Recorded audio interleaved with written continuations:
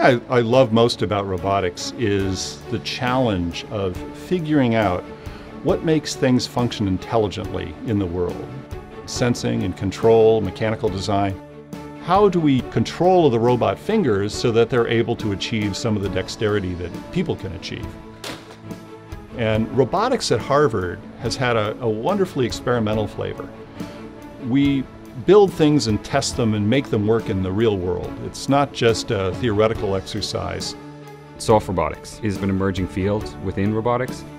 In this lab, we essentially say that there's a huge opportunity to apply small to moderate levels of assistance to people. You don't need to give them superhuman strength, but that that in itself can have a pretty big impact in terms of their mobility and quality of life.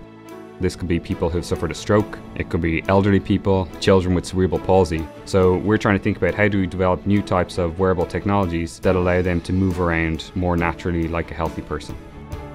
What we're trying to do is make robots smaller, softer, safer to interact with, more effective because of they're either more agile or can maneuver in places that big bulky robots wouldn't be able to do. Example applications include search and rescue, hazardous environment exploration, biomedical applications, things inside the body, things where you wouldn't want to put a human or an animal. One of the applications that I'm really interested in is whether you can get robots to construct things for us. Ultimately, what would be really cool is if you had a disaster area or there's a flood, and instead of sending a bunch of people into a dangerous area, you sent a bunch of robots and they picked up the sandbags and they made walls and levees. You can't make a robot unless you understand mechanical engineering, electrical engineering, computer science, and then it actually helps to understand biology because biology is the best examples of autonomous systems.